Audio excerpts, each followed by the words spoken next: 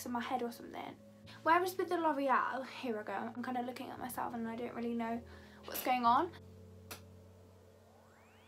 Hey everyone and welcome back to my YouTube channel. So for today's video, as you can see by the title, we are testing out the brand new Revolution foundation in a powder.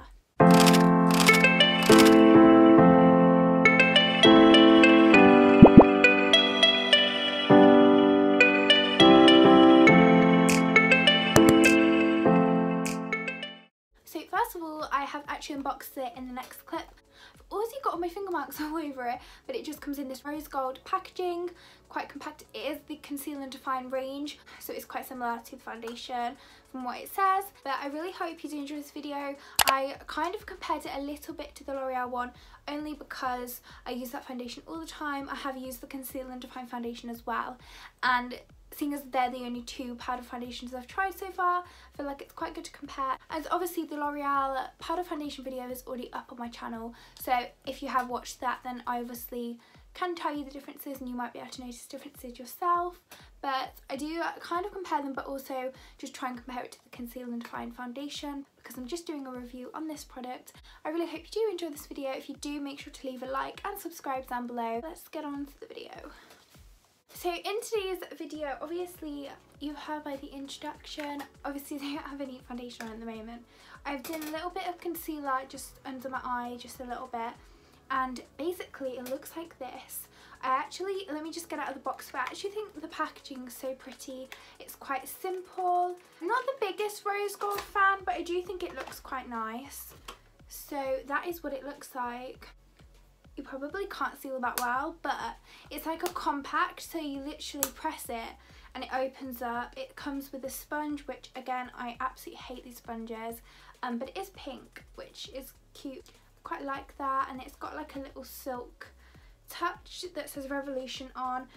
So although I wouldn't use that I think it's good it comes with it. Now what I really really like about this is when you open it up it's actually got like a plastic cover that stays on. It's not just like one of them flimsy sheets.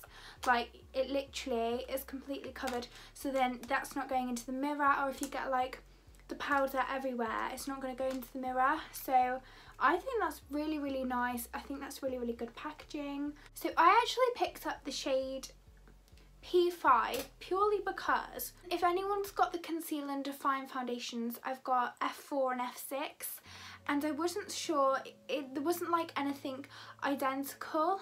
As you all know, I love my yellow tones, but a lot of these were pink and I'm really not sure what it's going to be like, but I'm going to give it a go.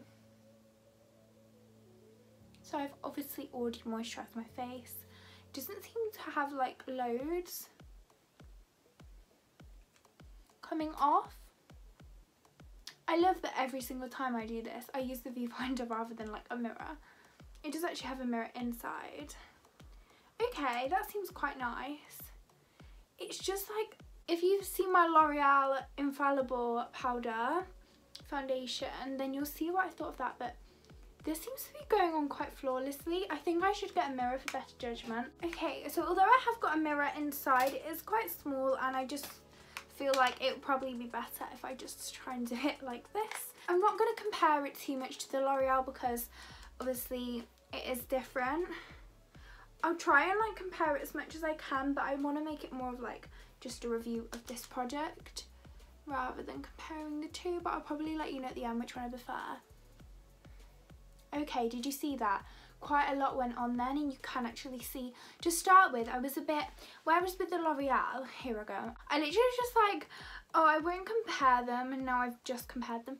But like when I put the L'Oreal one on, um, I found that at first as soon as I put it on to start with I was like oh my god that's so much and I didn't know how it's gonna like spread whereas this seems to be a lot more like maybe apply a little bit more and it does feel a lot it feels so powdery when you put it on but like exactly like the L'Oreal one it's so lightweight. So it really feels like you haven't really got anything on. I think it's just the application of it makes you feel like you're constantly putting powder on. But once it's actually on it's actually not too bad. And I quite like it because it makes me feel like at the end of the day I don't feel like oh my god I just want to get makeup off So how is everyone? I feel like we haven't had a catch up for ages. I know that. What the hell is that? It literally feels like forever. And this is like one of my first creative looks really of the year. Like I've only done I think three. I think this might be my third. If you've been following me for literally ages, you'll know that like the lockdown one I did so many creative looks. So it's so bizarre for me. I do feel like with this one I've got to put a lot more on. And I did think I have to say it matches my skin perfectly. It seems to just make my skin really flawless. I am gonna go in with concealer. So first impressions I feel like it's gone on really really well. It does it doesn't look powdery it doesn't look cakey at all. It does feel powdery when I apply it but now it's on it doesn't. So and on my forehead it started to like I think I've applied a bit too much on my forehead. But I'm gonna go and put my concealer on. There's a there's a few things I want to see how it's gonna work and I'm not sure. I'm not sure. I'm gonna apply my concealer. So this is the Revolution concealer as well. I did a testing video on this separately if you want to see how this how I like what I think of this and all the benefits to this the thing I find the weirdest is definitely putting liquid on top of powder. Like it just, it just seems really, really odd. And I did find with the L'Oreal one, when I was putting concealer on here, it was a bit weird. It Still look nice, but I'm going to see how this one works, especially because I don't apply foundation under my eyes. So obviously I'm not like applying foundation and then concealer under my eyes it's just here sometimes when I do my powder and stuff sometimes I put a bit more concealer like here or something so I feel like that never really does anything. So I actually use two because I think I prefer this shade. This is in fair. The other one was light but I actually think this one suits me a lot better. It normally suits my foundation shade. This does match my skin tone but I do think it is slightly lighter than what I'd normally use. I've got so many foundations that literally match my skin tone but I just think as I tanned before, obviously probably best tell on my face, I do think this foundation is just a little bit lighter than what I'd normally use anyway. But I do think because based on like the undertones and stuff, if I had to use a different one, it probably would have been more pink and then I would have preferred to use this one anyway. So that's literally the only thing. I just wish sometimes um, they did every single shade in the three undertones. You know the Ordinary um, Coverage Foundation? I know that they do every single number and then they do it in like different undertones as well and I way prefer that because then you can get two that are really similar but they're both yellow. Today has actually been so sunny as well.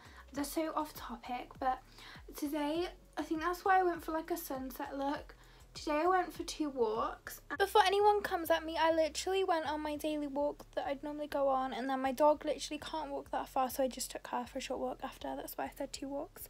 In case anyone thinks I'm just, you know, you never know. Just letting you know. And it's literally so, so sunny. Like, and when I went as well, because I don't know about you, but when I've been going for walks recently, it's been sunny, but it's been absolutely freezing. And like, I just don't want to go for walks like that. Like I'd way prefer to just kind of wait because when it's literally so cold, I'm not even exaggerating, but my face was literally like frozen and I couldn't really enjoy myself that much. Like I was really struggling to enjoy my walk because it was so cold. But this morning I went out on a walk quite early and it was actually like really warm and I had my coat on, but I actually don't think I would have needed to take my coat with me. So I'm just going to see how this um, contour blends in with the foundation. I'm going to actually use contour today because I've stopped using contour. I always used to use it on my forehead but I just don't really do that anymore. I way prefer just using it on my cheeks because I feel like then my cheeks get most of the definition. But it's actually blended so well. I just think these brands are just smashing it because these products are so affordable. I forgot to mention this is actually £8 and L'Oreal is 13 I think. I think Fenty, was Fenty the first brand to come out with this idea? Because I've definitely, I've seen that but I haven't actually tried the brand and I really really want to.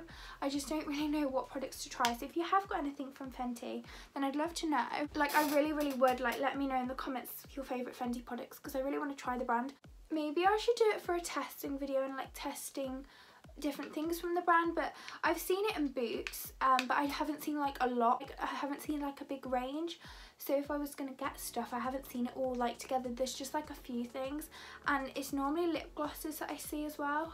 I don't feel like you can judge a brand on the lip gloss but I know like they are supposed to be really good. So it seems to have worked quite well. I feel like I've had to I don't really really enjoy putting contour all over my forehead but I feel like I had to because otherwise I feel like the foundation and the concealer were pretty much the same shade and I normally always have my concealer lighter.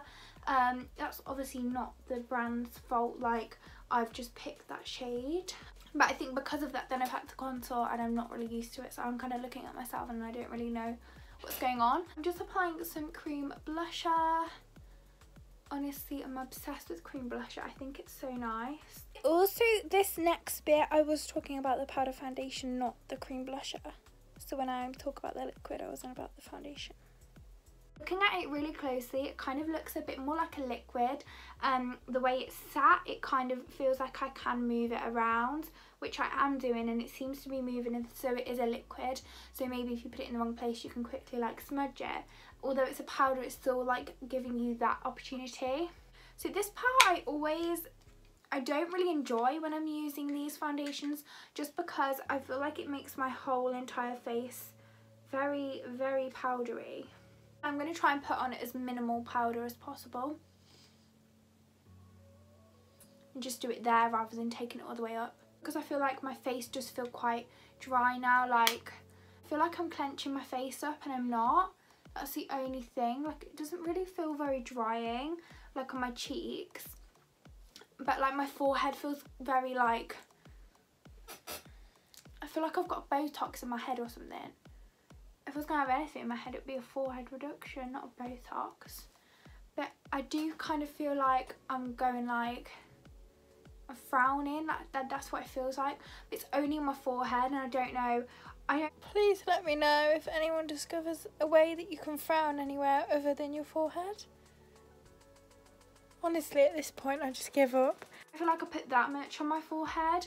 Like I was just putting the average amount and there's quite a large surface area to um, fill but I obviously just put concealer. I haven't put powder on my forehead. It's literally just the foundation, concealer and a little bit of contour but not in this area. And this is the area that I feel like I'm frowning.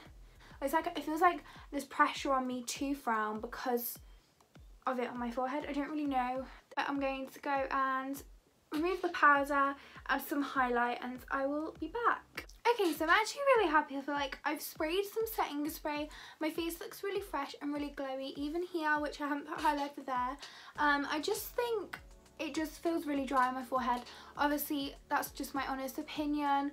I don't know if I've put too much on. I don't feel like I have. And it's only here.